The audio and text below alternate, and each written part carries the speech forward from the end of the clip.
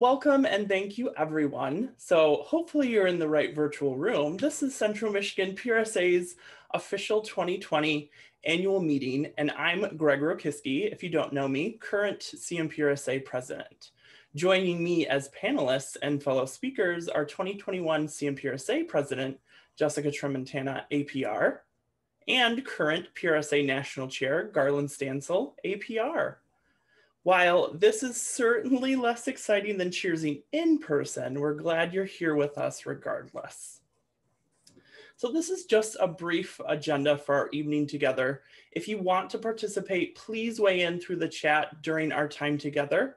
Additionally, at any point, should you have a question for me, Jessica, or Garland, please drop them in the Q&A section and we'll make sure that we get you an answer, either live or during the, fo the follow-up. Before I do dive in, I want to shout out and recognize two special guests in our virtual audience tonight. Newly elected PRSA National Director Jennifer Day, APR, and Rick Batyko, APR Fellow, who has served as our PRSA National East Central District Liaison for the past four years. Send them some warm regards via the chat. So without further ado, let's get started there's certainly no question it's been a wild year, and there's just nothing I could say that will ever fully encapsulate how 2020 has affected us individually and collectively. For those that attended our first ever virtual PACE Awards back in June, I talked briefly about where we were at in that moment in time. It feels truly like decades ago. Three months into the pandemic and a reckoning with racism and social injustice, among other things. Now, here we are rounding our eighth month, working what feels like day to day full of new challenges, uncertainty, and anxiety. We've suffered loss, taken on additional burdens of teacher, daycare provider, and non crisis communications practitioners in a world where exceptional leadership now often includes the words, I don't know. However, I want us to remember what 2020 has taught us. If you're like me, I don't hope things return exactly to the normal as they were, but instead we reach a new normal of equity, humanness, courage, and vulnerability. Tonight, I want us to celebrate the silver linings while we also toast to the end of 2020. First, let us celebrate by reflecting on what we survived. Catharsis is therapeutic. So as I speak, if there's something you're exceptionally proud of, need to mourn or say goodbye to and leave it in 2020, please do so in the chat at any time and we can move past it together. The 2020 CMPRSA board and committee members signed up to lead this organization in a world where COVID did not rule at the forefront of our minds. Therefore, when the pandemic turned many of our leadership teams day to day upside down, I am so proud of our pivot to create a COVID task force of individuals who felt they had that extra bandwidth to help keep our chapter functioning.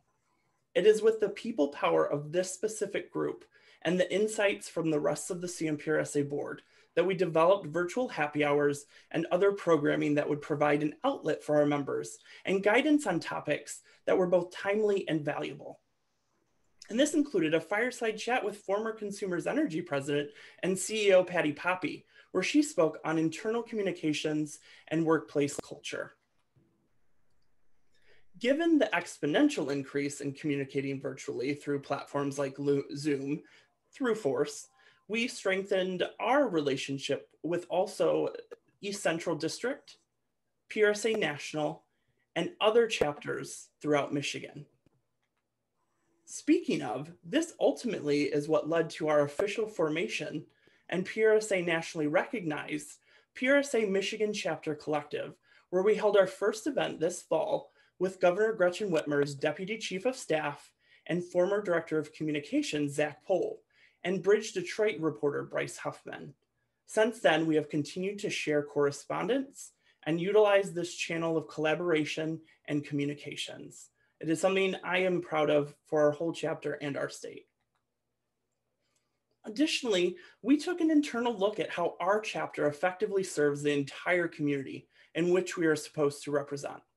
Therefore, the leadership began a dialogue with the West Michigan PRSA chapter about developing our strategic goals with a diverse, equitable, and inclusive lens. How do we communicate? And is it in a way that reflects all our members? Is our programming set up executed, and evaluated inclusively and equitably? Do we reach out beyond our echo chambers and ensure we consider all perspectives when we make decisions? Since then, we have met with many facilitators and experts in this area over the past several months. And while the work is certainly a marathon and not a sprint, these decisions will hopefully have a long lasting positive effect on our chapter, but also our community as a whole. Another decision was to make a seat at the executive table of our chapter to ensure this lens and oversight is at the forefront of every decision. I am so proud to announce that as a result of our 2021 member slate and bylaw amendments put forth before you all, our membership, it was nearly unanimously voted to move our inclusion, diversity, ethics, and advocacy chair position to the executive team of our chapter. This means that this position will now need to be filled every year by the nominations chair and will no longer ever be vacant. It will also sit in and have voting power at the executive committee level and help provide further accountability within the chapter and board for all that are represented. Speaking of our 2021 board slate, I am so happy to now honor and congratulate to all of you, our 2021 CMPRSA board, as voted on and approved by you all again, our membership. First, I'd like to recognize and congratulate our 2021 Executive Committee. Jessica Tramontana, APR, President. TJ Buchholz, President-elect. I myself will be moving into the past president role. Allie Caldwell, our Secretary. Lisa Beering, Treasurer. Catherine Jappinga, Assistant Treasurer. Monica Ackerson, APR, Assembly Delegate. And finally, Kamara Lewis, Inclusion, Diversity, Ethics, and Advocacy, or IDEA, Champion. Next, I'd like to recognize our 2021 Directors at Large, Alicia Pillmore, Kamara Lewis, Cassie Cotton, Dustin Early, Danielle Deneau, Catherine Jappinga, Kirsten Waldron, and Laura Hall. And finally, our 2021 chair positions. Jesse Adler, APR Accreditation Chair, Helen Corneffel, Communications Vice Chair, Mon Monica Ackerson, APR East Central District Chair, Kirsten Waldron, Membership Chair, Allie Caldwell, PACE Awards Vice Chair, Allie Telfer, MSU PRSSA President, Rachel Perkins, MSU PRSSA Professional Advisor, Rose Tantraphol, APR, MSU PRSSA Faculty Advisor, Haley Jones, New Professionals Chair, myself as Nominations Chair, Alicia Pillmore, Programming Chair, and TJ Buchholz, Sponsorship Chair. This truly is an exceptional group, and with Jessica's leadership at the helm, I'm just so excited for what CMPRSA will bring you all in 2021. As I wrap up my recognition, I would be remiss if I didn't take a moment to reflect back on the 2020 leadership team and send out an overwhelming thank you to everyone listed here for their dedication, perseverance, and stewardship during this truly, I will say it and you guessed it, unprecedented year. Thank you each and every one of you. It was an honor to learn and grow with you as professionals and more importantly, people over this year. Please help me in congratulating the 2021 board and thanking the 2020 board by weighing in via the chat. Emojis, exclamation points, and all. So if you had asked me if I would step into this role as president, knowing all of the stuff that would be thrown at us this year, I would likely still say yes because that's just who I am. However, there are no shortage of lessons I've learned. As I wrap up with you with my remarks tonight, I wanted to share some of these lessons. the first one is humanness matters. I have seen some of the best brands and communications efforts lean into being human this year, whether it's communicating loss, safety, or uncertainty around COVID 19, standing up against racial injustice, or crafting PR efforts around other tumultuous news. Hashtag election 2020. I hope many of us understand how much of a human touch we all needed. We also have to remember and recognize that human side of communications requires allowing ourselves and the others in which we collaborate that grace. I was nowhere near as perfect as president this year. I could have communicated more, taken on more initiatives, encouraged more programming, and the list goes on. At the end of the day, though, I did what was best for the board and also my own mental health. That being said, leadership doesn't stop when it gets hard. No matter how hard things get, if you're in a leadership position, you have to take responsibility for those and the duties under your charge. Within CMPRSA, we tried new things. Some worked. Our virtual PACE Awards, coordinated by Allie Caldwell, is a huge success. And others were less successful. Some of our smaller group happy hours, but those conversations were just as great. I told our board that they shouldn't be afraid of quote unquote failure. And I think this group taught me more than I could ever put into words about leadership during difficult times. That's when leadership matters most. No matter what side of the aisle you fall on, it'd be hard for anyone to deny the incredibly hard decisions Governor Gretchen Whitmer and her team have had to make this year. And it was so valuable to me to be able to hear from Zach Pohl, an insider, on his takeaways from that campaign. And we, when we heard from Patti Poppe, she touched on the fact that workplace culture is so important and has become even more so when there and other organizations started working remote indefinitely. These pivotal, difficult moments are when leaders step up to the plate. Communities can make a world of difference, whether in person or not. Being able to connect via our monthly board meetings, albeit virtual, other virtual events, district and national opportunities those were honestly a saving grace for my sanity this year. I met many new faces that I otherwise wouldn't have as a result of being forced into a virtual environment without any geographical borders. Outside of PRSA, I've made so many new connections via social media, largely as a result of being vulnerable about 2020 and the challenges, leaning into my humanness and being unashamedly myself.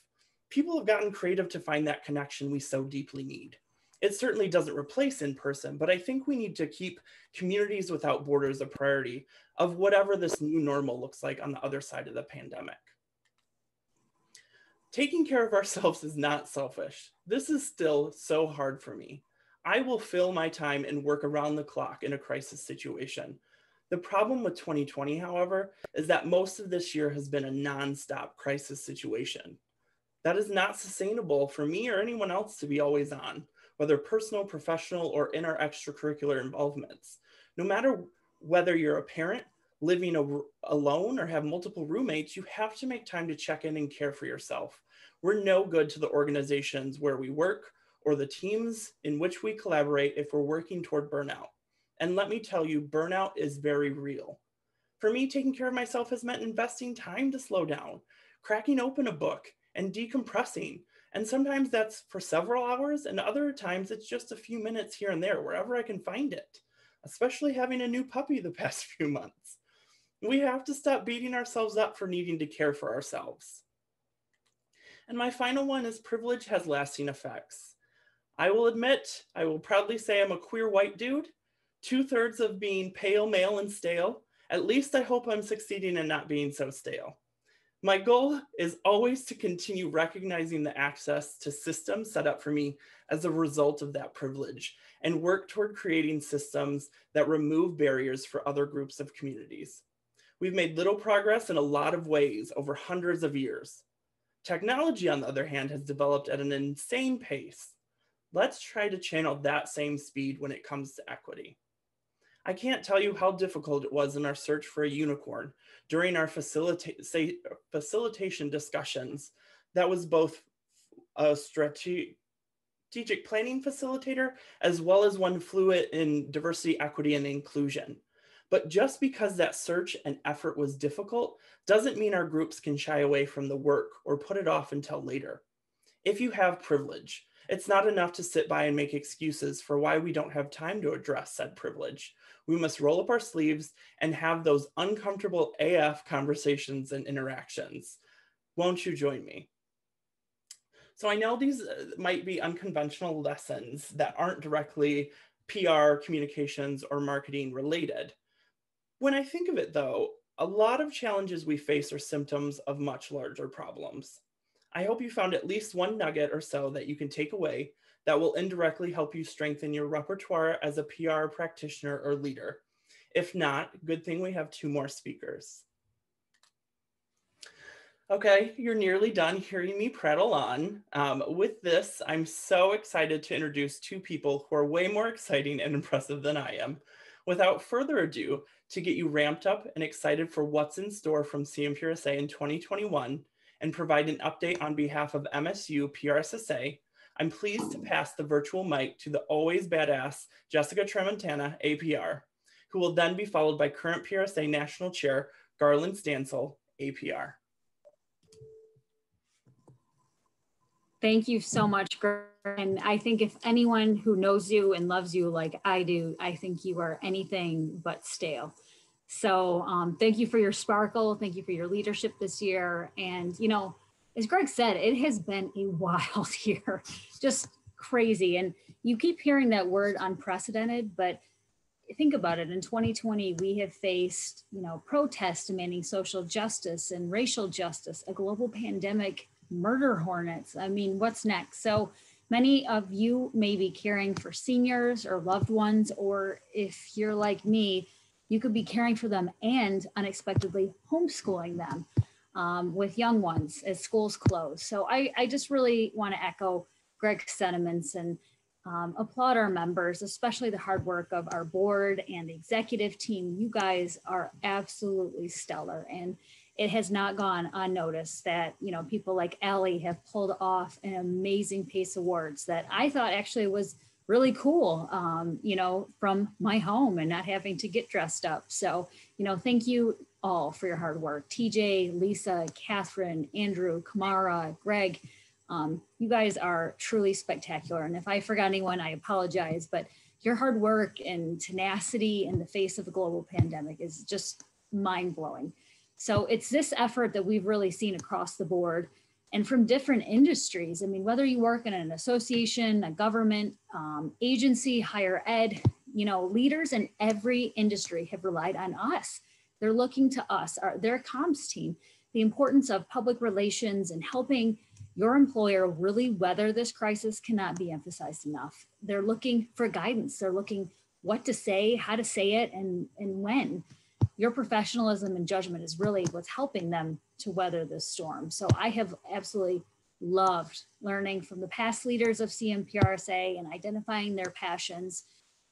And as Greg mentioned, one that's so near and dear to his heart that I'm really excited that, that we're going to continue to make a priority is DE and I for our chapter. And not just saying it's a priority, but really formalizing that commitment to ourselves and our members. And Greg has done an absolutely spectacular job by working to better support DE&I efforts. And I, I continue to plan to continue that legacy. So I really want to commit to sharing um, any types of learning tools and online resources um, until things get back to normal. And I, I don't think any of us really know what that looks like or when that will be, but I'm honored to be the next 2021 presidency in PRSA. and I appreciate all of your support and I welcome your feedback too. So there are things that you need, tools, um, communications, you know, please feel free to reach out to me and let me know. So we are here for you. And thank you for your time. And now I'd like to head over to the PRSSA president presentation. Our student president, Allie, was unable to make it tonight, so I'm going to be giving it for her. All right, thanks, Greg. That was right on cue. Can we go to the next slide? So our PRSSA, um, our student chapter here at MSU or Michigan State University for Garland, who's in Alabama and may not know, um, they are just an incredible powerhouse. They have had two welcome meetings in September. Um, they have MSU alumni who are now at Edelman, um, at Franco Public Relations and Marketing, um, also alumni representing at Vanguard. Thank you, TJ. Um, they've also had an internship roundtable with PRSSA eBoard and with Randy Martinez, a career consultant at MSU in communication arts and science. So um, a lot of these students are really working hard to network, to provide value and to really help seize opportunities despite everything that's going on. Mm, thank you. So a few other initiatives that they're really working on. um, Allie has done a great job with her e-board to really think long term and what the long strategy is. Not only trying to um, deploy creative tactics, but also how to make a lasting impact and really truly track or measure that process. So they've created a new membership point system. This has expanded a little bit from previous years. So the goal is to help increase motivation for truly engaging. Um, they have 20 official PRSSA members and they really wanted to create an environment that was casual um, you know a safe place where people can truly focus on professional growth one where they can ask questions and feel comfortable asking those questions and working to grow professionally um, they have done quite a bit to connect members to internships and that has a variety of outcomes from small agencies all the way up to large corporations um, Another thing that I thought was really fun was they have given folks a piece of East Lansing at home, you know, apparel.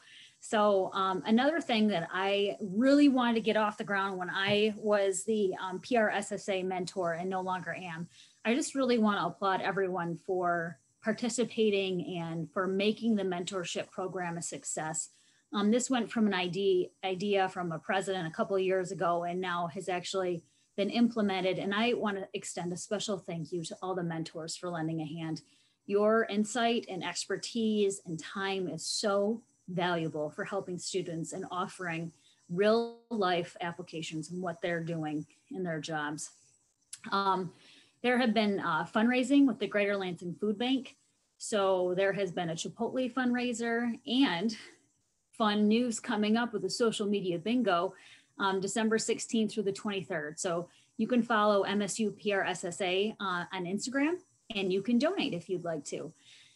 Another focus too that I want to touch on is that there is no geographic barrier. So um, they've really focused on trying to offer students a variety of perspectives, and that includes um, no geographic um, barrier. So they've hosted alums from LA, Chicago, New York, and another incentive to help encourage membership also has been a discounted membership fee, which is at 25% off. So this is a note from Hadley Kerr, the M MSU PRSSA vice president. You can read it, but essentially she talks a little bit about their goals and how they're working really to um, create a presence as a chapter. And they have really put on their creative thinking caps to make it a reality, both virtually and you know, trying to do some safe you know, outreach events, um, working and securing and growing relationships with professors, and trying to promote organizations in the classroom. So they they know that even you know that extra professor talking about this really helps offer a little bit of credence and also support student involvement. So they again they have implemented that point system so members can receive points for attending various meetings and activities and their members earned a combined total of 520 points this past semester. So they have gone proactively and notified each member of their points total for the fall semester. And part of that is to help educate and inform um, students. So next semester they bring it and uh, earn more points. So their goals have been very thoughtful. So this is a perfect example. When I got into public relations, I didn't know you were supposed to do broader goals with smaller objectives within, and the students are implementing this beautifully. So for the APR in my heart, I know that warms others' hearts as well. So um, kudos to the students for thinking this through. But some of their goals and um, objectives within those goals, uh, goal number one is to really increase engagement in the digital environment. This is especially important now with MSU closing and so many students going home unexpectedly mid-semester.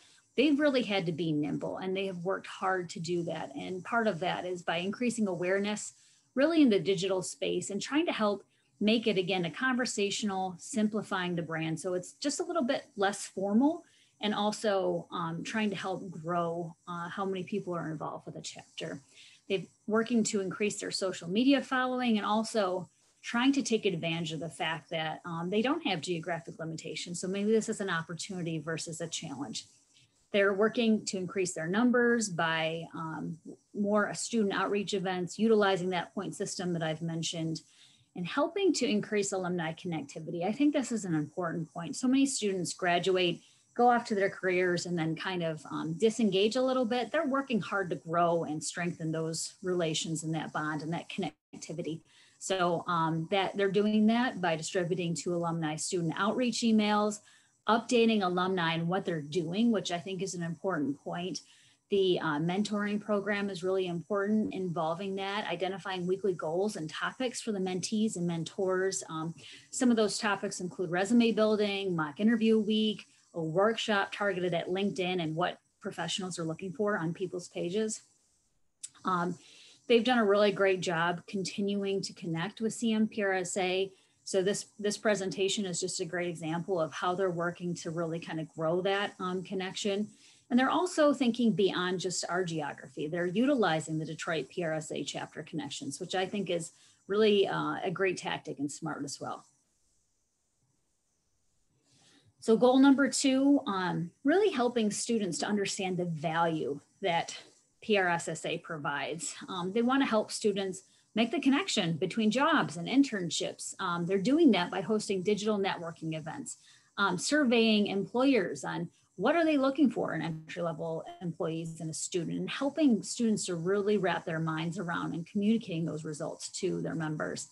Um, providing opportunity for students to practice and build their resume through building the chapter's social and blog channels and get published um, if you don't have an internship, that's sometimes a challenge. So this is a really great chance for students to grow their expertise and skill set. Um, developing member skills, hosting skills workshops, and creating digital kits for different skill areas. Um, some of these may include stuff that um, may be included in class and maybe even building on that knowledge. For instance, how to write a press release or really having a solid handout on AP style guide, which is something I personally struggle with all the time. Um, another thing, connecting members to resources available through PRSA National and CMPRSA. I think that's such an important point because a lot of people don't realize, wow, there's this massive toolkit available to us. And a lot of people don't even necessarily connect those dots and understand those huge resources are available. Um, exploring different interests of public relations. Some of those tactics include hosting meetings in different areas of public relations, really trying to diversify the speakers that they have at, at meetings and make sure it's a unique um, background and area that students can um, talk to and ask. The mentorship program is another important tactic to help them um, really better understand various career fields and where they may be able to go with their skill set and interests. So continuing on number two, uh, creating a passionate community around public relations this is really developing informal kind of what I learn sessions led by um, older students and helping really guide and mentor informally the freshmen and sophomore students, the younger students who may need just a little bit of a helping hand. Um, some of these are also um, include social visits or, um, you know, visiting PR classrooms and trying to help share our chapter and PRSA's chapter and what MSU um, is doing and creating making meetings focused really on getting to know their members and potential members and promoting social events. Um, they've also done some more case studies and tried to help students really grasp takeaways and what they could learn from those. Um, finally, with goal two, providing an opportunity to become a leader. So providing a chance for students to advance, um, helping them really to develop committees so that way students are actually involved and also help to understand juggling various responsibilities and how to help delegate when they need to. Um, finally, emphasizing the importance of becoming a leader and how they can help cultivate those leadership skills.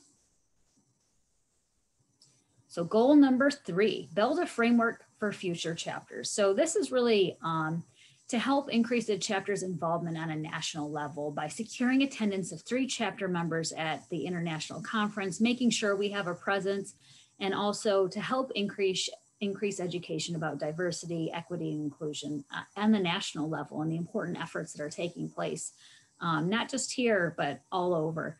Um, creating structure and developing succession planning for each e-board role. This was really important um, when I was a PRSSA advisor uh, many moons ago.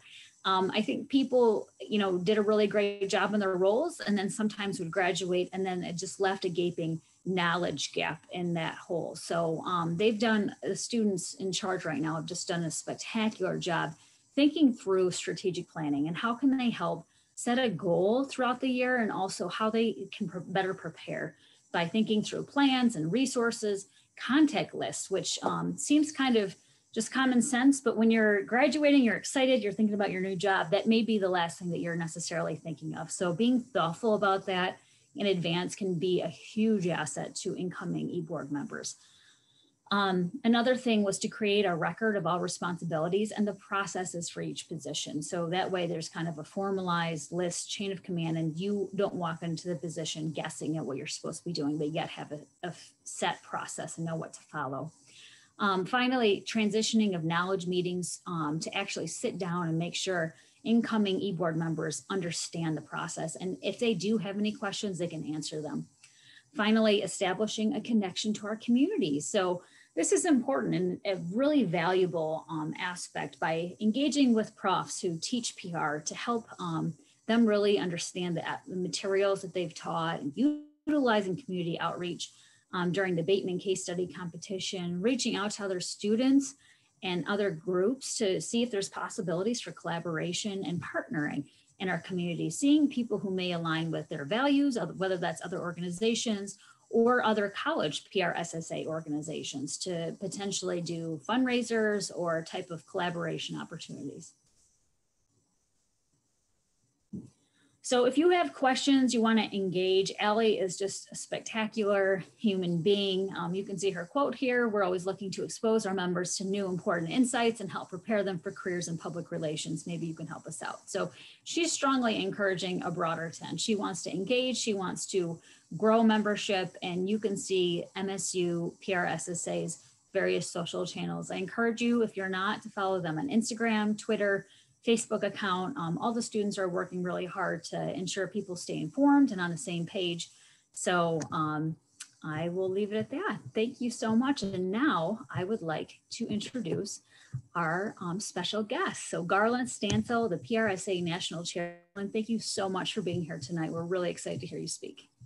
All right, thank, thank you, Jessica, and thank you too, Greg. Um, and hello, Central Michigan PRSA. Uh, it's my privilege to be here with you um, tonight.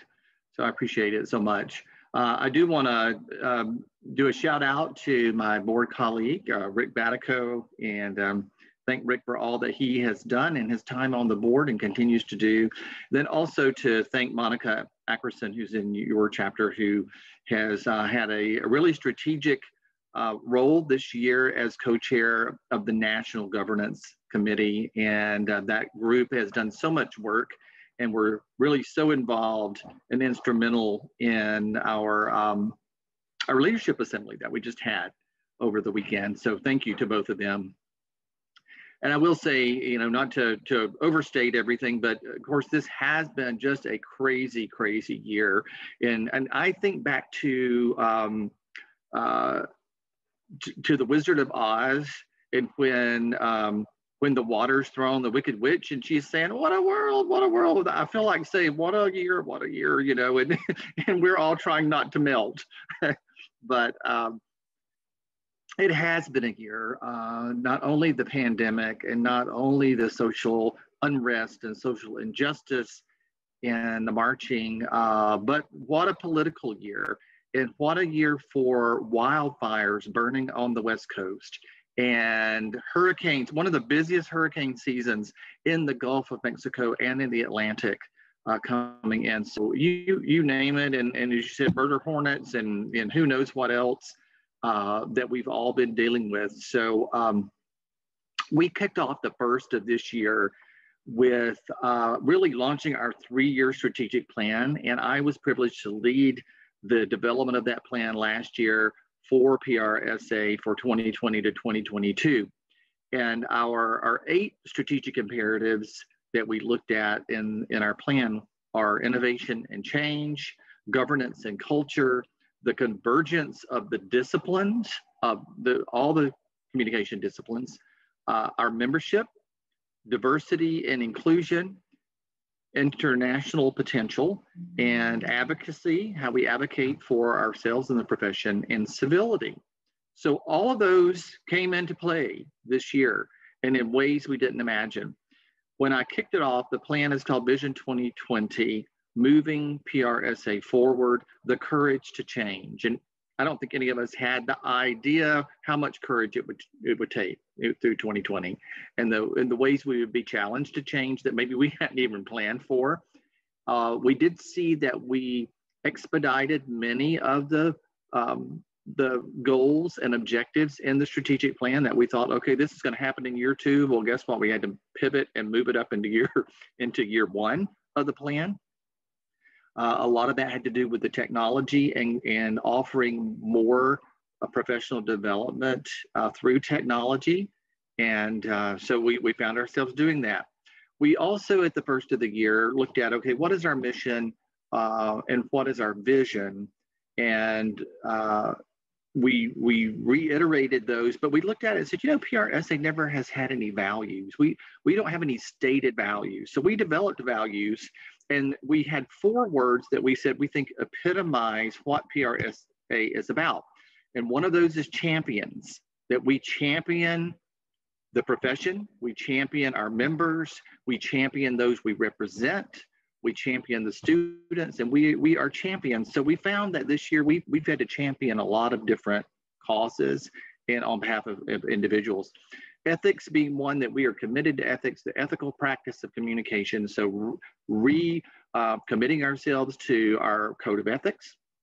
And then community. Above all else, we are a community or a community of of professionals, we're a community of communication professionals, but we also help to facilitate community. Wherever we are, we are facilitating community. And then mastery, um, and that we are committed to mastering our profession mastering communications, mastering um, the things that that are thrown at us to be able to to move ahead. So I, I really am pleased to say that we've incorporated all those. We've stayed true to our strategic plan, and we have continued to move PRSA forward, even though we're challenged.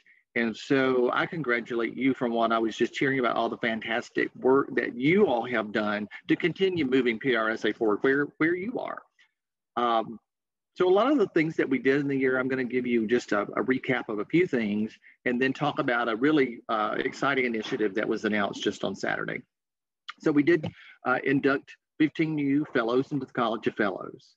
Uh, in October, we held our first ever virtual uh, international conference. So we had a lot of debate about, are we going to have a conference, not have a conference? Are we going to you know, punt to next year. We decided that we would go ahead and do this. It would be uh, a good for our community to be able to come together and um, and learn and celebrate together. So we had the conference. We we presented many of our things like the Silver Anvil Awards during that conference. We did the induction of the uh, fellows during that conference. We had our social events. We had networking. We had 1,600 people who joined us uh, via the platform 6Connex to to um, to celebrate communication, and we did that too in a way that we um, we we looked at uh, issues, really current issues, the pandemic. We looked at mis, dis, and malinformation and what a you know a challenge that is presenting to all of us in our worlds and what we can do about that and social injustice. So those were all things we talked about in our, our speakers uh, from Jon Meacham to Nina Jankowicz to uh, Carolyn Johnson to Lotta Knott. They really, um, you know, just laid it out there and, and we're very current with information that we do need to know. Um, our PRSSA, as you were just saying, is a shining star. PRSSA continues to grow around the country. They continue to challenge us as professionals. And um, we were able to add some new PRSA, PRSSA chapters during the year, including our first ever chapter in Puerto Rico. So we were happy to do that early in the year. And we added our 20th HBCU, our historic Black colleges and universities, our 20th um, HBCU at Oakwood University, right here in my state of Alabama in uh, Huntsville.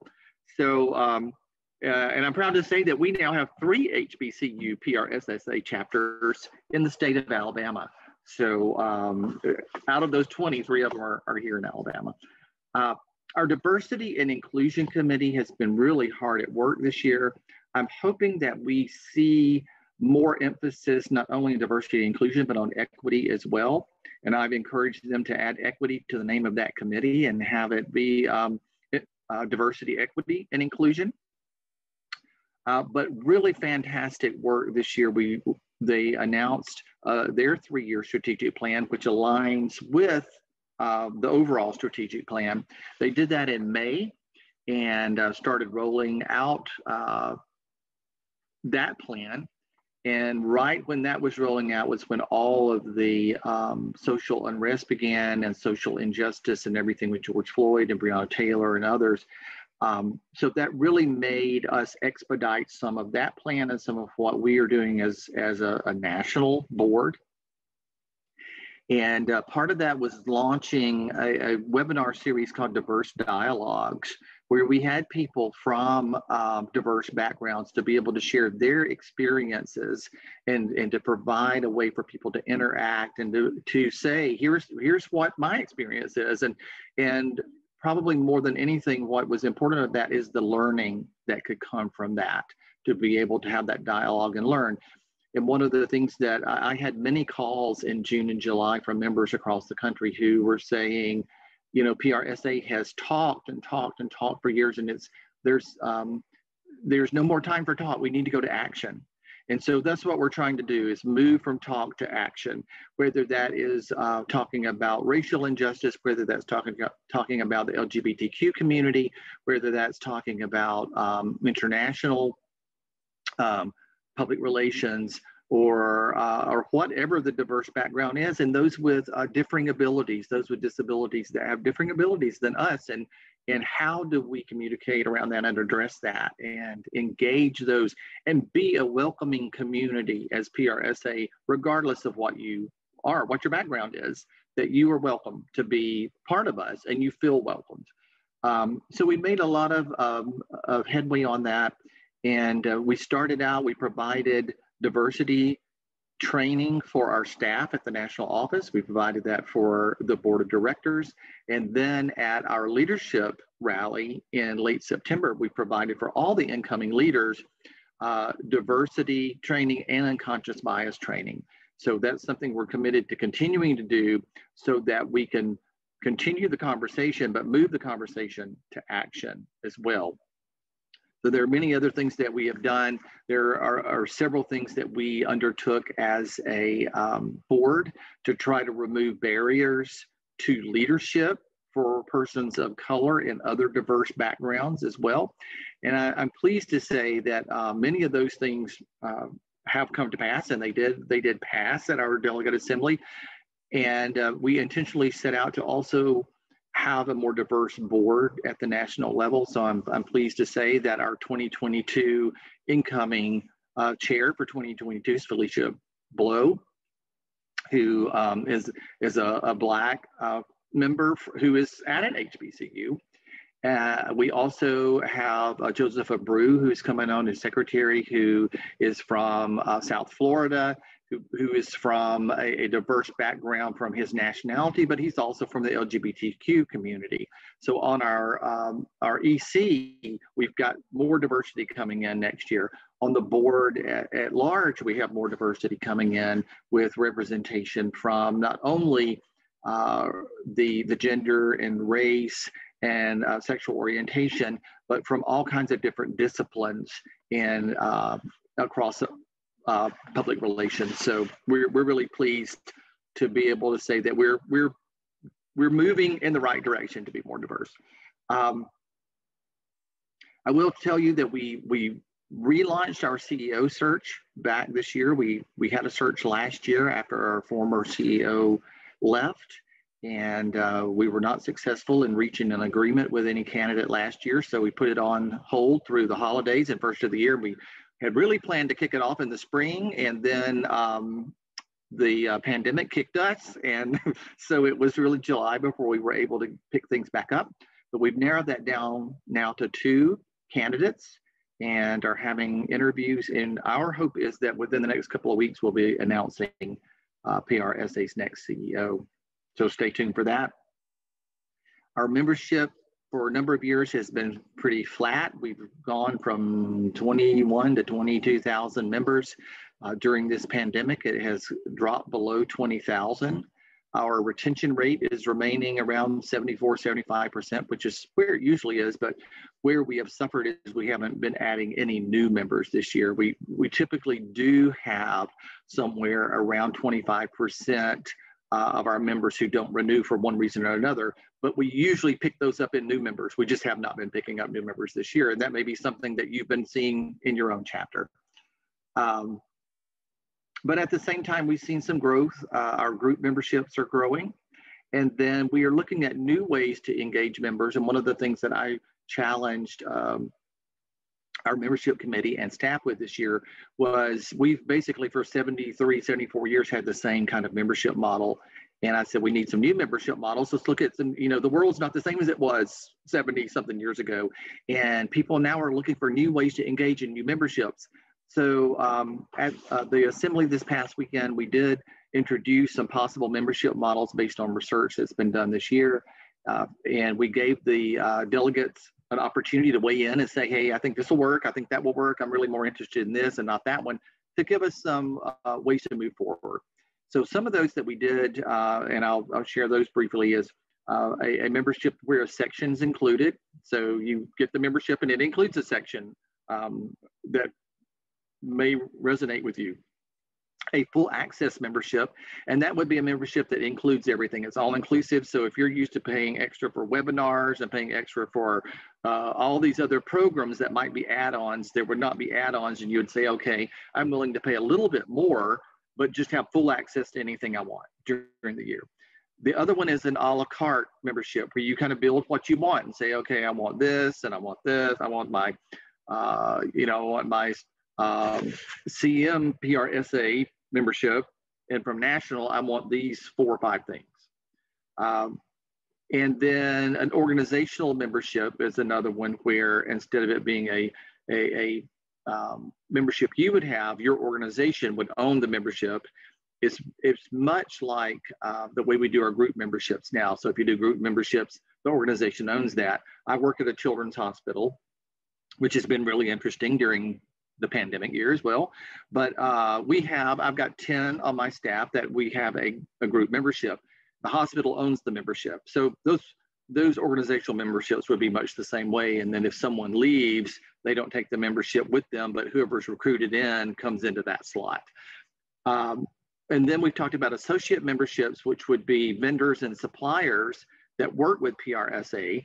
And they would, uh, we would offer them kind of an associate membership, and it would be a new member uh, category that we've never had before. And then another thing that we've talked about that really was popular is waiving the initiation fee and reinstatement fee. We have a lot of people who, who go on, they go all the way up to the point of they're about to hit the button to join PRSA, but there is an initiation fee of $65 and they're thinking, okay, well, I don't know what. And so then they abandon it and they don't join. Um, and that was really a fee that was put into place when things were not as automated and not online and there was processing. Well, now we don't have all that. And so we're saying, okay, well, let's maybe just get rid of that fee. And then if someone drops their membership, we have a reinstatement fee. Well, that was kind of the same thing. So we're talking about just, just waive the initiation fee, waive those reinstatement fees, and maybe that will cause more people to, to follow through with re, either reinstating their membership or getting that first membership. So um, that's kind of a, a, a, fast year in review. Um, I don't think my dog liked it, but um, she's barking. The, um, the uh, advocacy committee, which Nance Larson has been the um, head of that committee this year, when Nance and I looked at the first of the year, I said, you know, I want us as an advocacy to be able to be more proactive instead of reactive. And I want us to give um, some tools for our members to be able to engage with, to advocate in their own communities. And I want us to look at um, tying to our strategic plan and looking at civility, looking at mis dis malinformation, looking at um, uh, DE and I, and then we didn't really understand at the time how much we would need to be leaning into social injustice and what was going on. So they really took that to heart and developed a program that can be a, an evergreen program. And I, I am, um, I'm gonna try to share my screen with you. Um,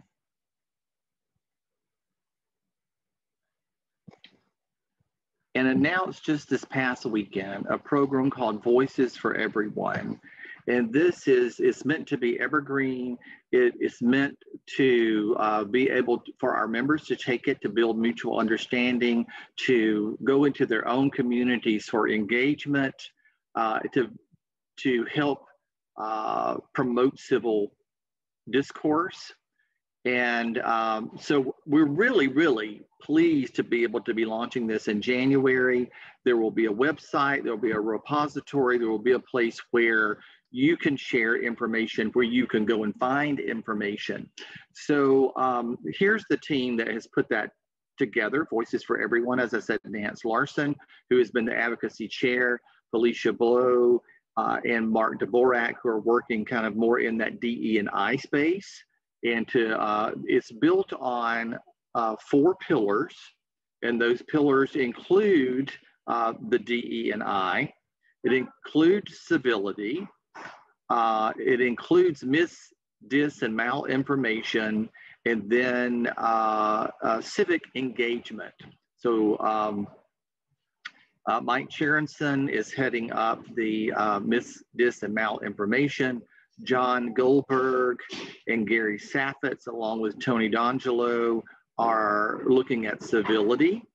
And then John Paluszek is uh, looking at that civic engagement piece. So those are kind of the leaders of this. And they're looking at this as a, as a license to lead. It's kind of tied into our code of ethics saying that as, as communicators, we serve the public interest. Uh, we defend evidence in evidence-based practice. We promote honest, transparent communication that helps people make better decisions. Um, and then we support the right to free speech, to diversity of thought, and open, inclusive civil discourse. So that's kind of that. Um, you know, as communicators, as public relations professionals, we are seeking to change attitudes, opinions, and beliefs. So we're, we're really concerned with that. And we're looking at how do we change behavior? How do we position PRSA and the professionals who are our members and the greater communication community to be leaders in the national conversation so that we can help foster fact-based dialogue, informed decision, civil um, com communication or civil um, conversations, empower thought leadership, and be able to harness our collective expertise as communicators and and share our insight and our influence not only nationally but but right in your own community and that we help build trust and understanding. So um, it's looking to inspire change through action. It is a strategic program as i said tied to our strategic plan. So um, Part of this is combating misinformation, disinformation, malinformation, and how we can do that in a way that um, helps people make better informed decisions. We're modeling effective discourse. This is the part that has to do with um, civil civility, embracing diversity, equity, and inclusion, and then driving civic engagement. And so we've we've been seeing an increase in people connecting with civil engagement in the last couple of years, and especially the uh, the millennials and Gen Z are, are very civically engaged and they want to make a difference. They want to engage uh, with things that are going on in their community. So how do we how do we do that as communicators? How do we engage that as communicators? How do we lead our companies, our organizations in helping their employees to appropriately engage in, in, in uh, their communities. So um, it's really changed through action. It, it is a platform for discussion, a marketplace of ideas, a positive space for expertise and experience, as I said, to be shared. Uh, professional development training programs. So there will be PD involved in this, curated data that will be on the website, shareable assets from individuals, companies, chapters, kind of that best practice model, and then resources that you can engage with. I don't have to tell you that mis, dis, and malinformation is so prevalent in, in everything. Uh, and so it's hard to tell sometimes what is what is true, what is not true, what is you know what is out there that's being more black PR that, that's setting uh, you know that is a, a malinformation that's been planted to make you think something when it's not really true. So um, you can see of all the social media mentions uh, how many are are maybe not true, and that it takes true stories six times as long for uh, than it does false stories to go around the internet. And part of that is because people want to share things that are not true so that they can try to get their message out there. Um, and you see that false news stories are 70% more likely to be retweeted than true stories, and that's from MIT. So that's part of what we're up against. And the civility and civil dialogue, uh, 94% in 2010 said they thought incivility was a problem. That has not changed much in the last 10 years. Uh, in the last year, 72% say they think incivility is getting worse. And I, I, do think where we are as a world and as a society and, and how we become more polarized uh, keeps to um, increasing incivility and people not being able to have a productive conversation. So um, we're also looking at diversity, equity, and inclusion and how we can have courageous thought leadership in that arena, engaging members in what we're calling self-discovery so that we're asking the questions, we're having the conversations, uh, and we're moving then to action, as I said before, and in a way that we can amplify our own PRSA uh, diversity, equity, and inclusion efforts. Um, and we, we had a, a survey last year where we talked to our members to say, you know, how important is it to you that PRSA represents the full diversity of our profession? And so you can see that 63% said it was extremely important, and then another 23% somewhat important. Um, so most of our members are saying this is something important that we feel like PRSA needs to address. And then in civic engagement, really the idea of the power of one that you can make a difference, that you engaging in your community civically can make a difference, that, that through uh, civil discourse, through making sure that you are well educated and then engaging in your community, you can make a difference. And that's important to democracy in our country. So some of the things we've done so far, the, as I said, the ICON 2020 uh, dealt with these issues, all of these issues, it was focused on it. Our DNI strategic plan is focused on it. Um, the civility co-chairs have already written a white paper that's available on uh, prsa.org. Um, in 2021, we've been pleased to announce that the PRSSA Bateman competition will be around civility. So the students will have an opportunity to look at civility and, and to delve deeply into it and, and to come back with, with their uh, ideas. Uh, we have partnered in strategic partnerships with Cambridge on misdis malinformation inoculation. There's a there's a game out there now that you can play this video game that helps to uh, increase your knowledge of, of how you can um, recognize misinformation and better equip yourself to to uh, recognize that. And then other partnerships, as uh, like with the Poynter Institute and with other uh, communication organizations that are also looking at um, trying to uh, educate around mis, dis, and malinformation. So what we need you to do is become inspired. We need you to contribute your expertise because there's so many things that all of our chapters are already doing in this space that we need to know about and share. Uh, we need to provide your feedback on how you think it can be made better and then share how you are engaged as a chapter or whatever your community is. And there is a, uh, you can go to uh, V for E, Voices for Everyone, V for E at prsa.org. You can send messages there. Um, and we will be launching a Voices for Everyone website right after the first of the year that will be this repository for all of this information. And um, so we, we want you to, to do, you know, to explore, engage, share, contribute, and lead in these ways. So it's really all of us. It's not just the national board. It's not just uh, the DE and I committee nationally. It's not just uh, those who are involved in these uh, pillars for Voices for Everyone, but if we're going to make this work, it has to be all of us working together uh, throughout all our PRSA communities.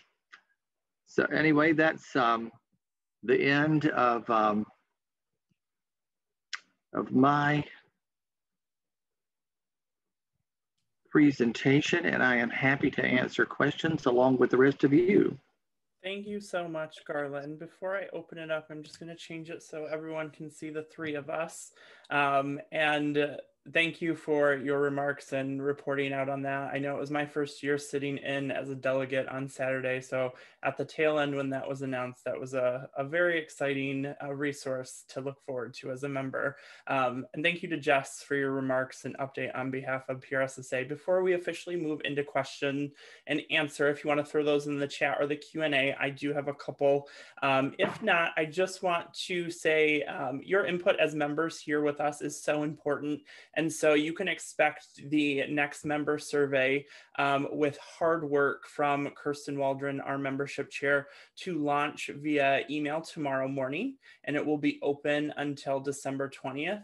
And really, all of those things there are such helpful data for us as a chapter, but be able to provide to our district and national on what you need as resources. I think in 2020, given COVID and all of the other uncertainty that we've had to face amongst challenges. Um, we really want to know how we can best serve you. So keep an eye out for that to hit your mailboxes tomorrow and to be open until December 20th. We might even incentivize you um, to fill it out. So keep an eye for that. Um, and that is also, there is a track for members and non-members. So if you're tuning in or watching this as a non-member, we want to understand if you've ever been one, why aren't you one anymore? If you're not, how can we get you to be a member of our chapter at NPRSA National? So with that, um, I will gladly open it up to questions either for CM PRSA, PRSSA, or Garland here tonight.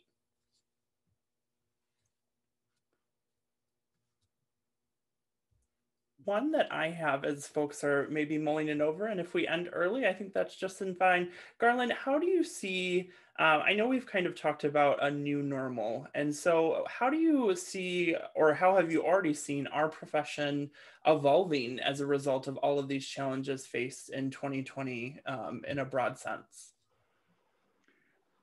And, and thank you for that question. I do think, you know, you you said something about this early on in your comments, in that almost all industries now are relying more on their communications professionals and because the messaging, whether that has to be internally to employees or externally to whatever constituents, they are looking more and more for their communications professionals to be advisors to them. So if you're thinking about all the all the hats we wear, one of those has been trusted advisor in the past, and we've wanted to have that valued more, and we've wanted to be able to have that kind of virtual seat at the table or the real seat at the table when it comes to addressing these issues. And so I, I do think that the virus has really opened that door more where we've been counted on more and and we have performed and, and we have stepped up and so I, I think going forward we will see that um, our organizations are relying on us more and that we have help to solidify our position in our organizations even more. So I, I do think that that will be will be one. You know, going forward as well, as you said, it's it's kind of a new normal. We don't know what that's going to be. And we will, I don't think we'll ever go back to like we are. And I think PRSA as an organization will not go back to the way we were before. I think that, uh, you know, even next year we may we may find ourselves the um, the international conference is set in October around the I think the 17th or so, uh, 15th to 17th or 17th to 19th. I can't remember the exact dates, but um, it's for Orlando. But we won't just be an in-person event. There, it's probably going to be an event where you can choose to be in person, or you can still choose to to take part in it virtually, and in some shape or form. So um, I think our our conference will never be the same. I think our our professional development offerings will never be the same.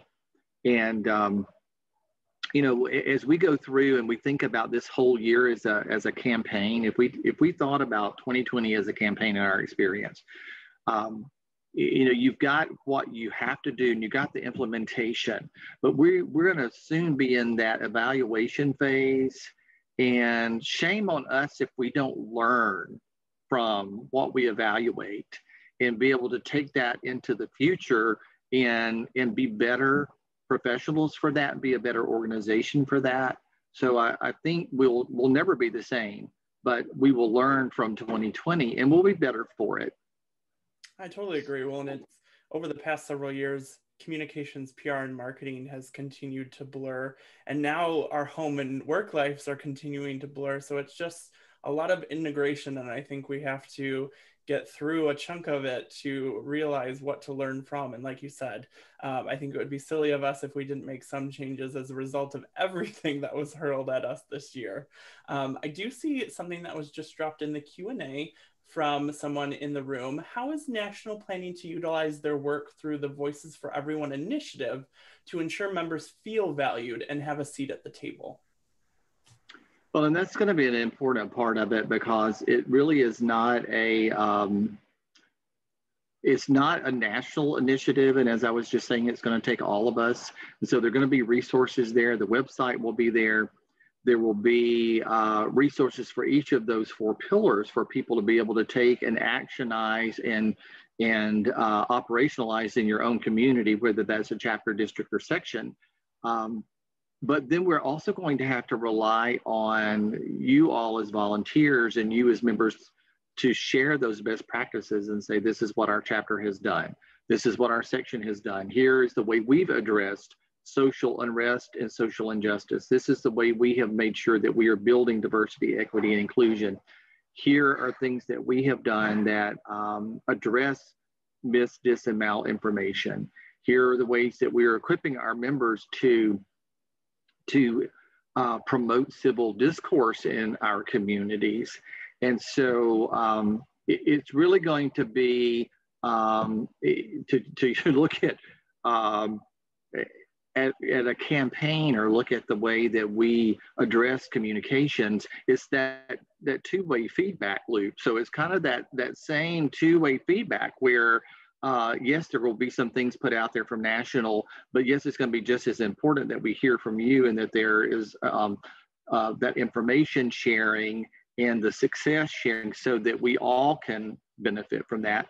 We're also going to be looking at the partnerships that we have with like the Poynter Institute in Cambridge and other um, uh, organizations across the globe, not just in this country, and how they're addressing those and share those with all of you as well. Um, so um, we, we are looking for that feedback and we're hoping that we hear from you so that um, you have that virtual seat at the table to say, this is how this is working, or to ask questions. How, how can we address this particular issue? Um, so if you've ever been in the um, in, the PRSA open forum and people put questions in there and say, hey, I'm dealing with this issue. Is anybody, we, you know, we're looking for voices for everyone to be kind of the same way in that you can say, I'm, I'm dealing with this. Anybody, you know, had success in this area? Um, because I can tell you that um, PRSA National does not have all the answers. And uh, many times the answers are out there with all of you. And so um, so we we need we need each other, um, and that's a good um, analogy to where we are in this country, in that uh, in dealing with all these issues, misdis malinformation, dealing with social injustice, dealing with incivility, dealing with civic engagement, we all need each other. Uh, as as a society, we need each other. And uh, part of the reason we're where we are with incivility is because we don't realize how much we need each other. I completely agree. And I think as it relates to for everyone, some resources I think that I'm just thinking from the top of my head that might be re- uh, helpful for chapters is internal um, resources. So, how do homogenous groups welcome diverse voices onto their leadership, and how do you have those uncomfortable or difficult conversations? And I think right. even organizations, as you have staff or HR and you are communications folks, like we have that power to bring those conversations there. So, um, I think that this obviously will be an organic and living, breathing campaign from PRSA, and I'm I'm hopeful that it continues to get that feedback and grow over time. So, it's very exciting. Awesome. Well, I'm not seeing anything in the chat or the Q&A, so I know we are, are a handful of minutes over, so I do want to be respectful of all of our time. So I will thank everyone here again, Garland, Jess, Jennifer Day, and Rick Batyko for joining us in the virtual audience. It has been a year, that is for sure, and so we're so thankful for everyone that joined us to toast to the end of 2020 and to brighter things into 2021, but to keep those silver linings and lessons with us into the next year. So thank you, everyone. Thank you, Garland and Jess, and have a wonderful evening. Thank you. Pleasure to be with you all. Stay safe. Wash your hands, social distance, wear a mask. Thanks, Bye. everyone.